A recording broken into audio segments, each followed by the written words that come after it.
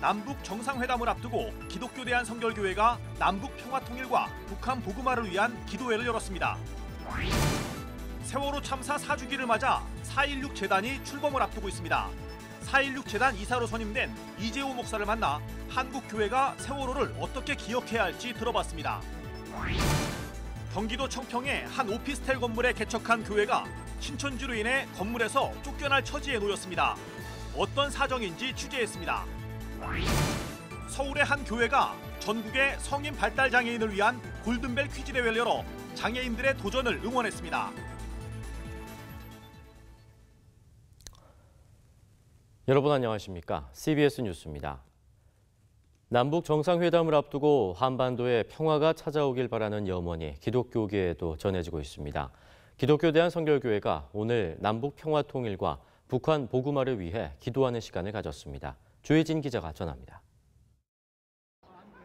기독교 대한 성결교회가 북한 땅과 가까운 경기도 연천군 전곡교회에서 평화통일 기도회를 열었습니다.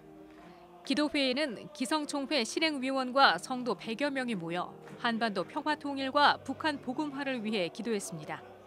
기성총회는 해마다 통일 기도회를 열어 남북 통일과 북한 선교를 위해 기도해 오고 있습니다. 지난해부턴 4월 셋째 주일을 통일주일로 정했습니다.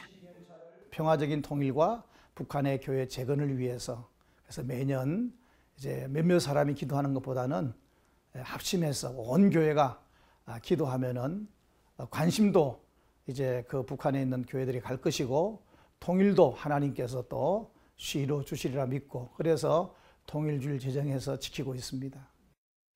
기도회 참석자들은 두 손을 높이 들고 오는 27일로 예정된 남북 정상회담이 성공적으로 개최돼 한반도에 진정한 평화가 찾아오길 기도했습니다.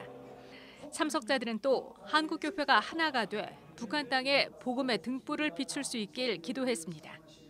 막혀 있는 38의 장벽이 성령의 바람으로 하나님의 말씀의 능력으로 무너지게 하시고 북한 땅이 말씀의 빛으로 밝아지게 하시며 옳지 못한 사상에 사로잡힌 이들이 복음을 받아들여 회개하고 죽게 돌아오는 역사가 있게 하여 주시옵소서. 기도회 참석자들은 모두 일어나 통일을 바라는 마음으로 노래를 불렀습니다.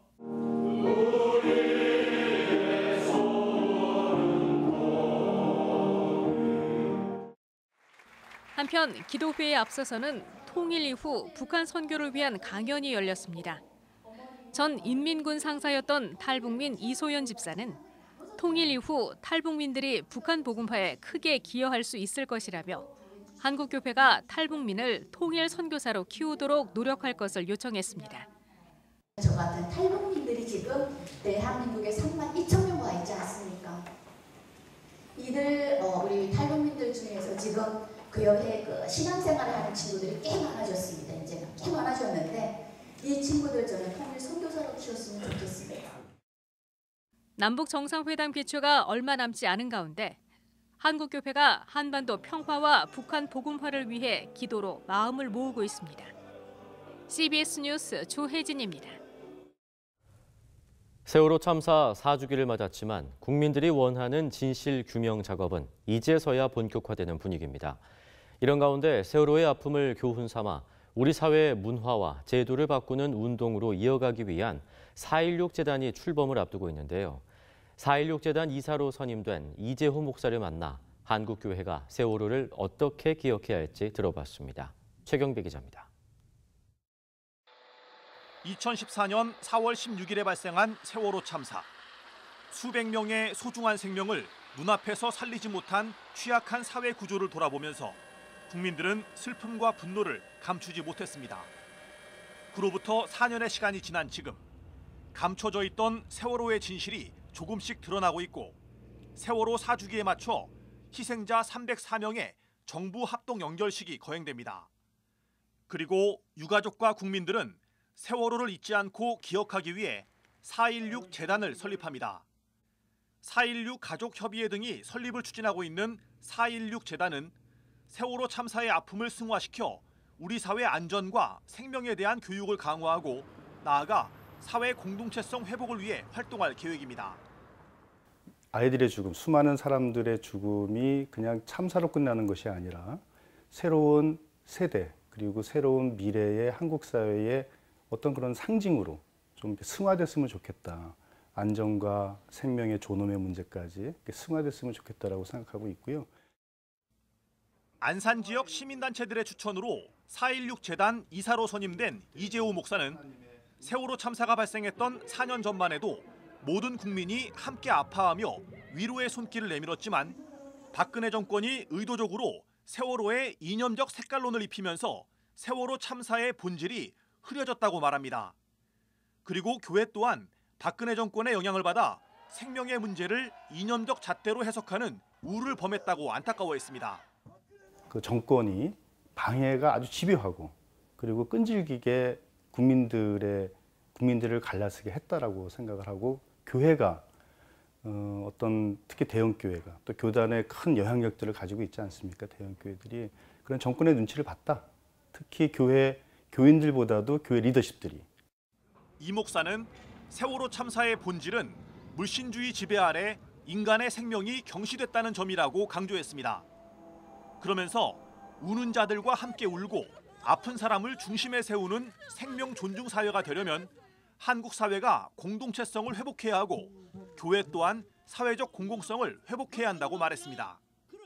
그 공동체를 내 몸같이 사랑하라고 하는 그냥 복음의 그 정수인데 그게 그래서 교회는 우리끼리의 공동체도 물론 중요하지만은 그 교회가 구성되어 있는 동네, 마을, 사회, 이 역사 여기 어떻게 분리될 수 있을 것인가 라는 생각 갖고 있습니다. 이 목사는 세월호의 아픔을 승화시켜 우리 사회가 공동체성을 회복하는 일에 한국 교회가 함께하길 바란다면서 4.16 재단에 많은 교회와 그리스도인들이 마음을 모아달라고 당부했습니다. 한편 예장 통합총회 최기학 총회장은 담화문을 통해 한국 교회와 성도들이 4.16 재단 설립을 위한 일에 함께해 줄 것을 요청했습니다. CBS 뉴스 최경배입니다. 대법원이 사랑의 교회 오정현 목사 위임 결의 무효 확인 소송을 다시 심리하라고 서울 고등법원으로 돌려보냈습니다. 사랑의 교회 갱신위 교인들은 2015년 6월 2003년 오정현 목사를 사랑의 교회 위임 목사로 세운 절차에 문제가 있었다며 법원에 위임 목사 결의 무효 확인 소송을 제기했습니다. 1심과 2심에서는 모두 오정현 목사가 승소한 가운데 대법원이 서울 고등법원으로 사건을 돌려보내면서 오 목사의 목사 안수 과정 등에 대한 검증이 다시 이루어질 것으로 보입니다. 경기도 청평의 한 오피스텔 건물에 개척한 교회가 신천지 때문에 어려움을 겪고 있습니다. 이 교회는 개척한 지 2년도 안 돼 건물에서 쫓겨날 처지에 놓였습니다. 유영혁 기자가 취재했습니다. 경기도 가평군 청평면 경춘로에 있는 한 오피스텔 건물. 이래 순복음교회는 지난 2016년 7월 건물 1층에 세를 얻어 입주했습니다. 같은 해 10월에는 설립 예배를 드리고 본격적인 개척 활동에 들어갔습니다. 그런데 지난해 중반쯤부터 신천지가 이 오피스텔 사무실 여러 곳을 사들이면서 교회와 신천지가 한 건물에 있어야 하는 난감한 처지를 맞게 됐습니다.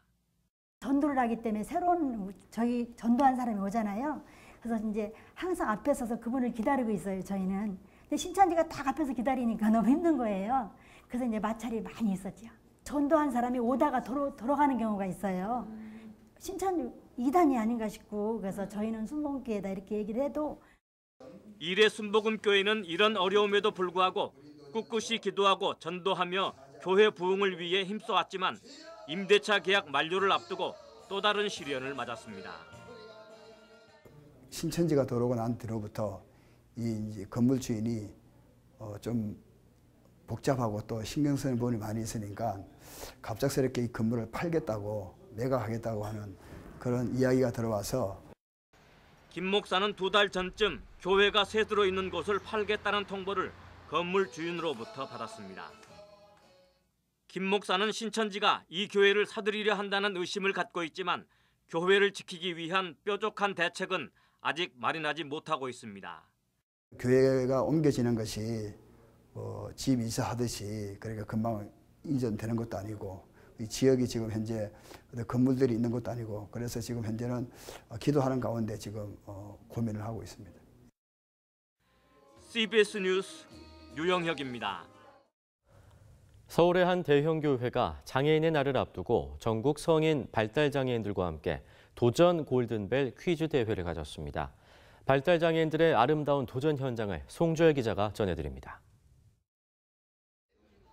지적 자폐성 장애를 앓고 있는 발달 장애인들이 꽃비가 날리는 국기원으로 특별한 봄나들이를 나왔습니다. 전국 성인 발달 장애인 퀴즈 대회 도전 골든벨에 참석하기 위해서입니다. 대회에는 희망, 음성, 성심복지관 등 전국 35개 장애인 관련 기관에서 2인 1조로 98개 팀이 참가했습니다. 객석에는 1,200여 명의 장애인들이 각 기관을 대표해 출전한 선수들을 위한 열띤 응원전도 펼쳤습니다. 10전 행사 후 본격적으로 시작된 퀴즈 대회에는 정치, 경제, 사회, 생활 상식 등 수준 높은 문제들이 출제됐습니다. 고난이도 문제가 나올 때는 잠시 고민하다가도 이내 술술 답을 써내려갑니다. 퀴즈 대회에서는 예선 25문제 결과를 합산해 본선 진출자를 가린 뒤 최종 승자가 가려졌습니다.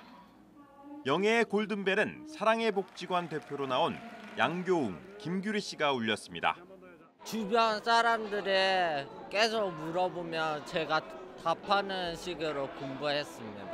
골든벨 울린 것처럼 어, 열심히 살아서 어, 주변 사람들한테 장애인도 이렇게 할 수 있다는 것을 보여주도록 하겠습니다. 서울 충현교회 산하 충현복지재단 충현복지관이 주최한 전국 발달장애인 도전 골든벨 퀴즈 대회가 올해로 14회째를 맞았습니다. 올해 주제는 자립으로 문제 풀기 과정을 통해 우리 사회에서 겪는 다양한 문제에 대한 해결 능력을 키워주는데 초점을 뒀습니다. 미래 그 교회들은 아, 이웃과 함께하는 사역이 중요하다고 생각합니다. 아, 이것은 이제 그 성경적으로도 중요한데 에, 해외 선교에 있어서는 아, 그들의 에, 집 가정을 마련해 주는 것이고 특별히 이제 장애인 선교에 있어서는 아, 이웃이 되어 주는 것이라고 에, 생각합니다. 발달장애인 골든벨 대회가 발달장애인들의 지적 기량을 겨루는 상징적인 대회로 자리매김하면서 참가팀도 해마다 늘어 올해는 역대 최대 규모로 열렸습니다.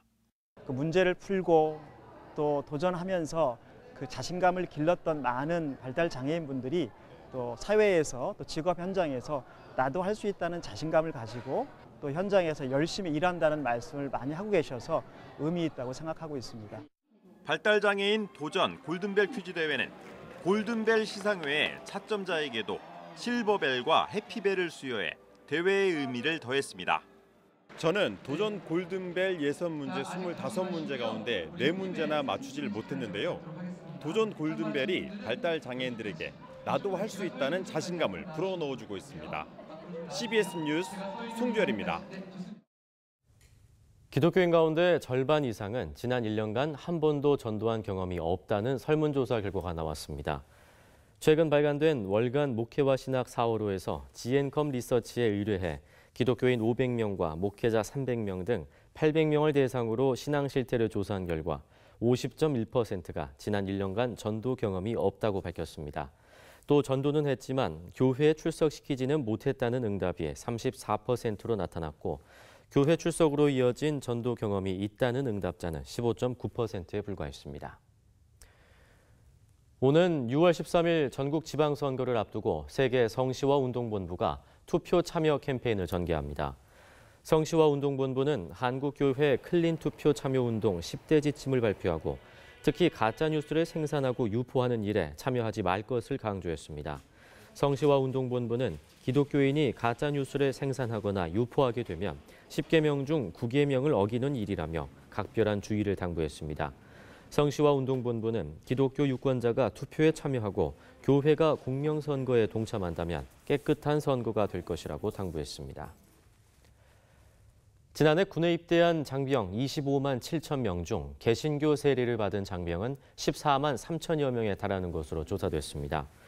대한예수교장로회 통합총회 군선교회가 오늘 서울 광나루 장로회 신학대학교에서 개최한 군선교 정책 세미나에서 발제를 맡은 김일생 예비역 중장은 장병 대다수가 훈련소에서 세례를 받는다며 훈련소에서 복음을 전하는 일이 중요하다고 말했습니다.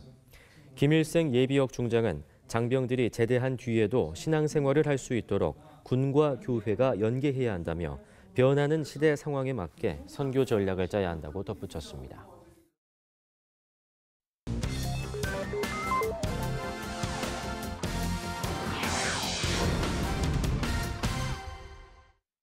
이어서 간추린 지역 소식입니다.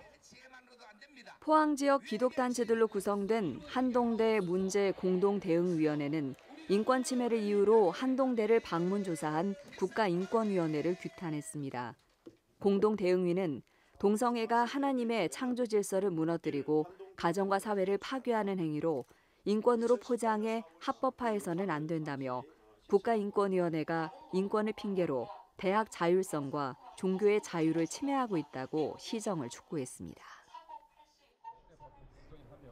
부산 개인 택시 선교회에서 마련한 야외 예배와 체육 대회가 열려 서로 교제를 나누며 화합의 시간을 가졌습니다. 금사교회 정명훈 담임 목사는 모든 것이 합력하여 선을 이룬다는 하나님의 말씀을 붙들고 긍정의 힘으로 살아가자고 전했습니다.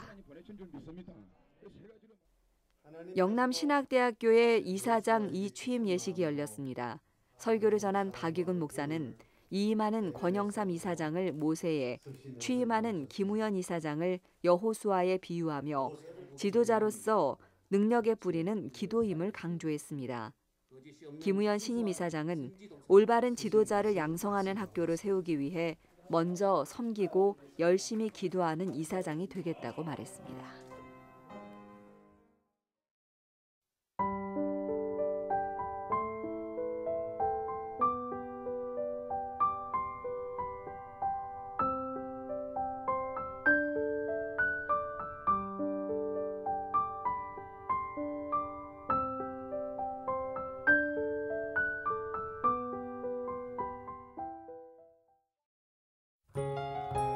날씨입니다. 내일은 전국이 대체로 맑다가 오후에 차차 흐려지겠습니다.